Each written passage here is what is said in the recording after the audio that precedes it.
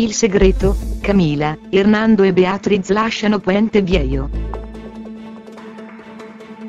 Anticipazioni episodi spagnoli Il segreto di Puente Viejo, addio ai protagonisti principali.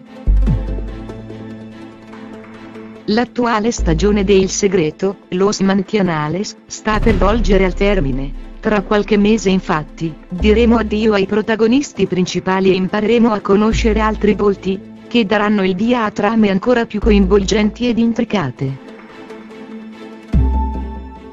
Nelle nostre precedenti anticipazioni de Il segreto abbiamo già parlato di tre di essi, Aquilino, il pericoloso interesse amoroso di Beatriz, Venancia, colei che distruggerà le vite di Candela e Severo, e Julieta, la nuova Pepa pronta a scontrarsi con Francisca Montenegro. Ma che fine faranno Beatriz, Hernando e Camilla?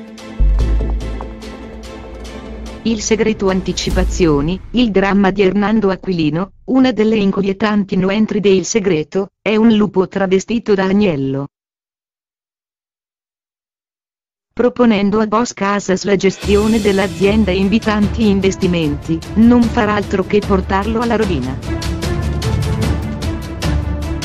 l'uomo sarà sommerso dai debiti e dagli strozzini, mettendo in pericolo tutta la sua famiglia. Intanto, Julieta deve fare i conti con il dolore immenso per la perdita della figlia Anita e per la storia d'amore con Saul, naufragata per colpa di Francisca.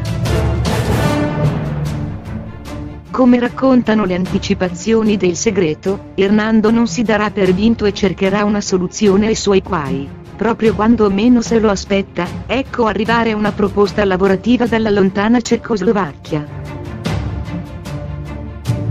Il segreto, addio dos casas, le nuove anticipazioni spagnole della sua opera Hernando sarà talmente in ristrettezza economica, che non riuscirà nemmeno a pagarsi il biglietto per la Cecoslovacchia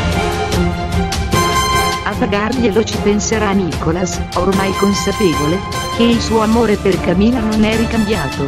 La partenza del Dos Casa si rivelerà proficua, in quanto in terra straniera firmerà il contratto, che gli permetterà di rimettersi in piedi dal punto di vista economico.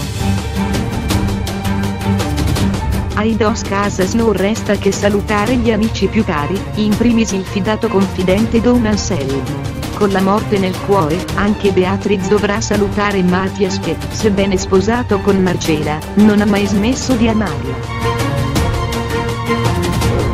La giovane Dos Casas prometterà al giovane di tornare a Puente Viejo per partire in un secondo momento insieme, senza ricevere per alcuna risposta dal Castaneda?